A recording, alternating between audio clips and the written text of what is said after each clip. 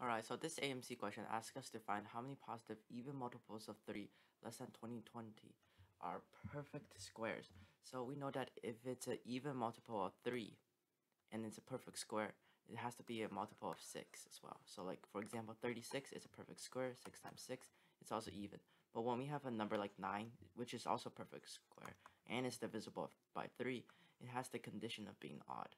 So if it's multiple of 6, it has a condition of being even. Right? With that in mind, we could list out the equation 6n squared equals 2020. Now, why do we have to say equals 2020? Because we have to find out how, when n reaches what, will it go over the limit of 2020. So, that is what we can find. So this is 36 n squared equals 2020. n squared equals 2020 over 36.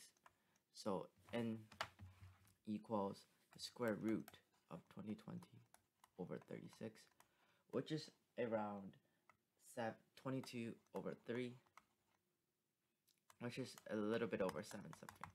So we know the answer for n is that n equals 7, so that this in short means that only there are 7 numbers that are perfect squares multiples of 3 even numbers that are less than 2020. So our answer choice is A. And that's how we do it.